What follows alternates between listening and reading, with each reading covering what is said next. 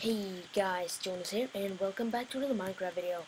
And uh, sorry for no intro today, but uh, today I'm going to be showing you how to fix your Minecraft when it crashes.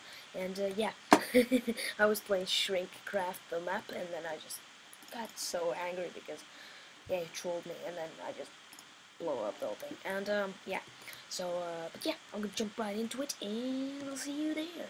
Okay, so this is for Mac. Okay. Um, but first off, you're gonna open your Finder, um, this random Finder window, and then you go to Go, uh, up in the Finder window, like up, up here, uh, wait here, and uh, yeah, so uh, you're gonna open your Finder, open your Finder, and uh, yeah, so you're gonna go to Go, you're gonna go Go, um, and then you're going to um, uh, click the Alt button, um, the button that looks like that. That button looks like that. And uh, yeah. And then you go to library library. And then you go to application support. Um, and you find your Minecraft folder. Uh, where, where, where is it now? Uh, yeah um, find your Minecraft folder. And then if you go to if you go to your bin then you just gotta mark it. And then you I mean I can do it on uh, this, for example.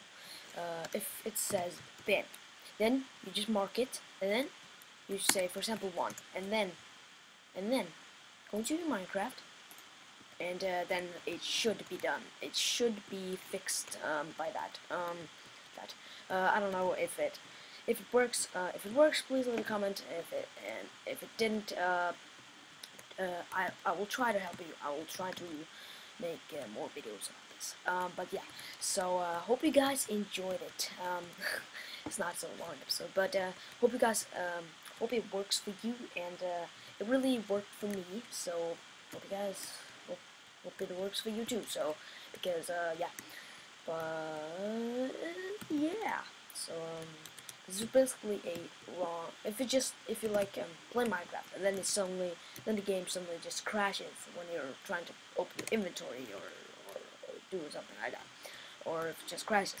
Uh, and if it says unexpected error, then you gotta do what I just showed you. Yeah. Then you gotta do the library thing in application. Okay, I'm gonna show you one time. One more time. Go to library. Then go to application support, and then you go to Minecraft, and then you rename your bin file.